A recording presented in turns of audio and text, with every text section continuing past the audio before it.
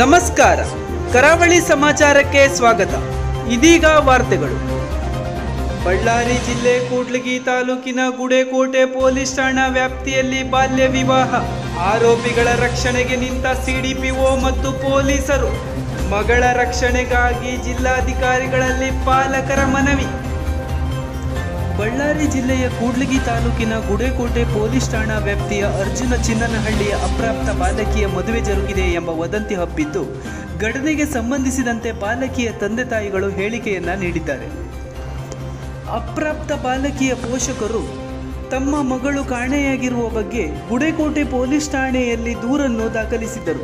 ಕೆಲವು ದಿನಗಳ ನಂತರ ಬಾಲಕಿಯನ್ನು ಅಪಹರಿಸಿದ್ದ ಆರೋಪಿ ಮದುವೆ ಮಾಡಿಕೊಂಡು ಪತ್ತೆಯಾಗಿದ್ದು ಇದು ತಮಗೆ ಒಪ್ಪಿಗೆ ಇಲ್ಲವಾಗಿದೆ.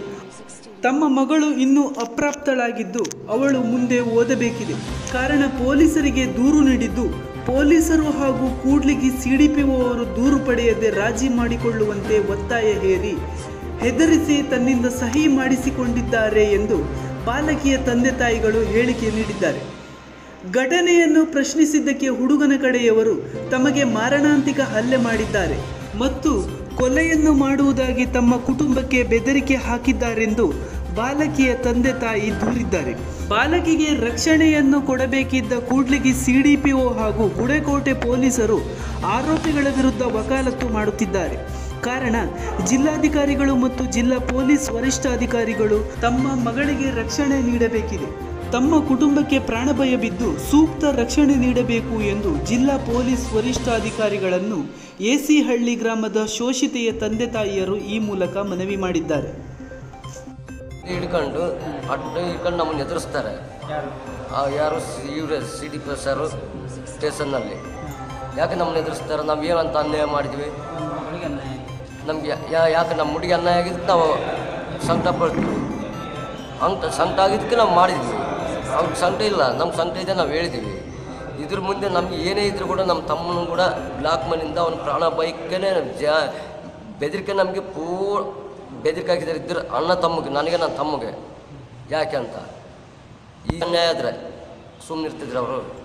ಸುಮ್ಮನಿರ್ತಿದ್ದಿಲ್ಲ ನಮ್ಮನ್ನ ಇದು ನಮಗೆ ಅನ್ಯಾಯ ಮಾಡಿದ್ದೀರಿ ನಮ್ಮನ್ನೇ ಬೆದರಿಕೆ ಹಾಕಿಬೇಕಂದ್ರೆ ನಾವು ಜೀವನ ಮಾಡೋದು ಪಜಿತೈತೆ ಊರಲ್ಲಿ. ಅವ್ನು ಇವ್ನು ಅವ್ರು ಮಾಡಬೇಕು ಇವ್ನು ಅವನ ತಮ್ಮ ಬೋರಯ್ಯ ಸಣ್ಣೋಬಯ್ಯ.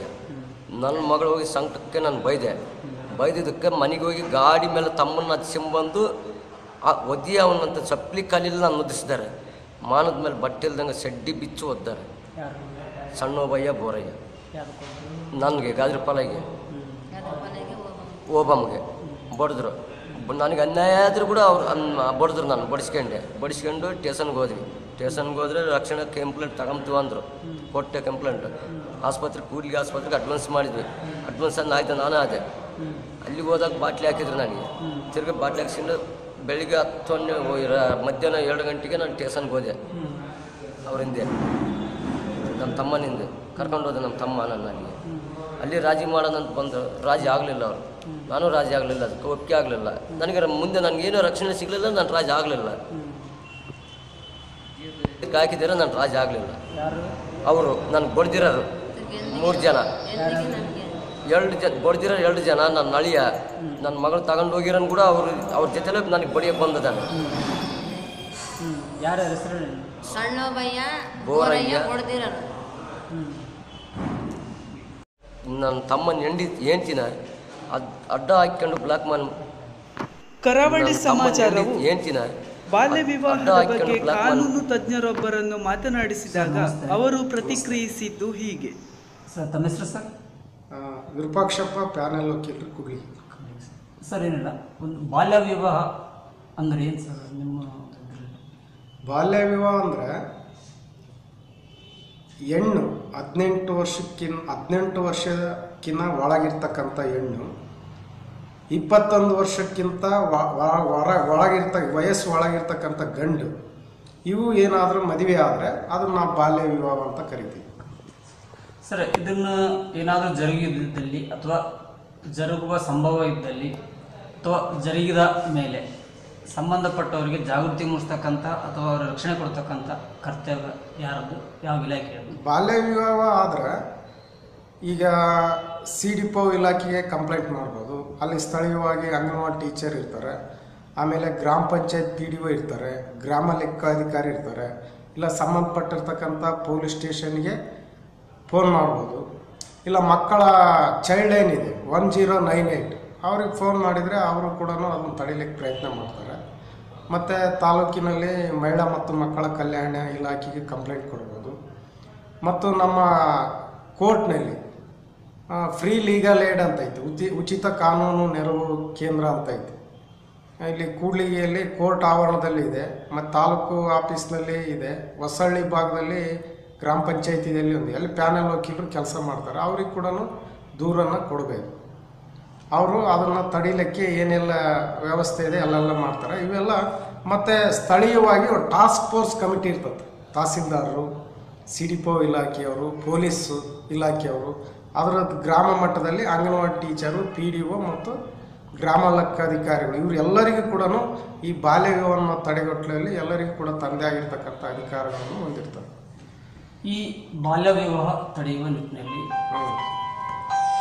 ಸ್ಥಳೀಯ ಮಟ್ಟದ ತಾಲೂಕು ಮಟ್ಟದ ಯಾವ್ಯಾವ ಇಲಾಖಾ ಅಧಿಕಾರಿಗಳು ಮತ್ತು ರಕ್ಷಣೆ ಕೊಡ್ತಕ್ಕಂಥ ಜವಾಬ್ದಾರಿ ಮತ್ತು ಅದನ್ನು ನಿರ್ವಹಣೆ ಮಾಡ್ತಕ್ಕಂಥ ಜವಾಬ್ದಾರಿ ಯಾವ ಇಲಾಖೆಗೆ ಪ್ರಮುಖ ಪಾತ್ರ? ಪ್ರಮುಖ ಪಾತ್ರ ಅಂದ್ರೆ ಸಿ ಡಿ ಪೋ ಇಲಾಖೆ, ಮಹಿಳಾ ಮತ್ತು ಮಕ್ಕಳ ಕಲ್ಯಾಣ ಇಲಾಖೆ ಅವ್ರ ಜವಾಬ್ದಾರಿ ಹೆಚ್ಚಿನದಾಗಿರುತ್ತೆ ಅವರು ಹೋಗಿ ಇಂಥ ಬಾಲ್ಯ ವಿವಾಹಗಳು ಆಗ್ತಾವಂತಂದರೆ ಒಂದು ಸ್ವತಃನೇ ಅವರು ಪೊಲೀಸರಿಗೆ ಹೋಗಿ ಸ್ವತಃನೇ ದೂರನ್ನು ಕಂಪ್ಲೇಂಟ್ ದಾಖಲಿಸಿ, ಆ ಚೈಲ್ಡನ್ನು ರಕ್ಷಣೆ ಮಾಡ್ತಕ್ಕಂಥ ಜವಾಬ್ದಾರಿ ಅವ್ರಿಗಿರುತ್ತೆ.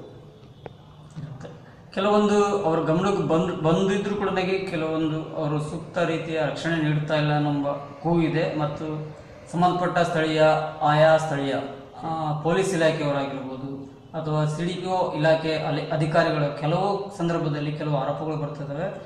ಆ ಸಂದರ್ಭದಲ್ಲಿ ಈ ಬಾಲ್ಯ ವಿವಾಹಕ್ಕೆ ಒಳಗಾಗಿರ್ತಕ್ಕಂಥ ಶೋಷಿತೆಯ ಪೋಷಕರು ಯಾರನ್ನು ಸಂಪರ್ಕಿಸಬೇಕು ಅಥವಾ ನ್ಯಾಯವನ್ನು ವಿಚಾರ ತಾಲೂಕು ಮಟ್ಟದಲ್ಲಿ ಅಧಿಕಾರಿಗಳು ಅದನ್ನ ಕೇರ್ ತಗೊಂಡೇ ಇದ್ರೆ ಸಾಮಾನ್ಯವಾಗಿ ನಮ್ಮ ನ್ಯಾಯಾಲಯದ ಆವರಣದಲ್ಲಿರ್ತಕ್ಕಂಥ ಕಾನೂನು ಸಲಹೆ ಕೇಂದ್ರಕ್ಕೆ ಬರ್ಬೋದು. ಇಲ್ಲಾಂದರೆ ಡಿ ಸಿ ಕನ್ಸಲ್ಟ್ ಮಾಡ್ಬೋದು ಜಿಲ್ಲಾ ಮಟ್ಟದಲ್ಲಿ. ಆಮೇಲೆ ಡಿ ಡಿ ಇರ್ತಾರೆ ಉಪನಿರ್ದೇಶಕರು, ಮಹಿಳಾ ಮತ್ತು ಮಕ್ಕಳ ಕಲ್ಯಾಣ ಇಲಾಖೆ ಉಪನಿರ್ದೇಶಕರು, ಇವ್ರಿಗೂ ದೂರು ಸಲ್ಲಿಸ್ಬೋದು, ಎಸ್ ಪಿಗೂ ದೂರು ಸಲ್ಲಿಸ್ಬೋದು ಜಿಲ್ಲಾ ಮಟ್ಟದಲ್ಲಿ. ಅವರ ಒಂದು ಇಲಾಖೆ ಅಂದ್ರೆ ಈಗ ಸಿಡಿಪೋ ಇಲಾಖೆ ಮತ್ತು ಪೊಲೀಸ್ ಇಲಾಖೆಯವರು. ಯಾವ ರೀತಿ ರಕ್ಷಣೆ ಕೊಡ್ತಾರೆ ಕೊಡಬೇಕು ಅಂತ ನೇಮ ಚೈಲ್ಡ್ ಮ್ಯಾರೇಜ್ ತಡಗ ಚೈಲ್ಡ್ ಮ್ಯಾರೇಜ್ ಆದಮೇಲೆ ಅದಕ್ಕೆ ಮೂರು ವರ್ಷವರೆಗೆ ಮತ್ತು ಫೈನ್ ಕೂಡ ಇದೆ. ಚೈಲ್ಡ್ ಮ್ಯಾರೇಜ್ ಆದನ್ನು ಬಾಲ ವಿವಾಹ ಮಾಡಿದವರು ಅಕ್ಕಿ ಕಾಳು ಹಾಕಿದವರು ಸಾಕ್ಷಿದಾರರು ಅದ್ರ ಯಾರೆಲ್ಲ ಪಾತ್ರ ವಹಿಸಿರ್ತಾರೋ ಅವರೆಲ್ಲರಿಗೂ ಕೂಡ ಪನಿಷ್ಮೆಂಟ್ ಆಗುತ್ತೆ. ಇದು ಕಾನೂನಿನಲ್ಲಿರ್ತಕ್ಕಂಥ ಒಂದು ಬಾಲ ವಿವಾಹನ ತಡೆಗಟ್ಟತಕ್ಕಂಥ ಒಂದು ಕಾನೂನು. ಪನಿಷ್ಮೆಂಟ್ ಬಾಲ್ಯ ವಿವಾಹವು ಒಂದು ಶುದ್ಧ ಕಾನೂನು ಬಾಹಿರ ಚಟುವಟಿಕೆಯಾಗಿದ್ದು, ಕೂಡ್ಲಿಗಿ ತಾಲೂಕಿನಲ್ಲಿ ಒಂದು ಬಾಲ್ಯ ವಿವಾಹ ನಡೆದಿದೆ ಎಂದರೆ, ಇಲ್ಲಿ ಹಲವು ಅನುಮಾನದ ವಾಸನೆಗಳು ಬರುತ್ತಿದೆ. ಆದ್ದರಿಂದ ಇದಕ್ಕೆ ಸಂಬಂಧಿಸಿದ ಅಧಿಕಾರಿಗಳು ಕೂಡಲೇ ಮಧ್ಯಪ್ರವೇಶಿಸಿ ಸೂಕ್ತ ಕ್ರಮವನ್ನು ಕೈಗೊಳ್ಳಬೇಕು ಎನ್ನುವುದು ಕೂಡ್ಲಿಗಿಯ ಪ್ರಜ್ಞಾವಂತ ನಾಗರಿಕನ ಮಾತಾಗಿದೆ.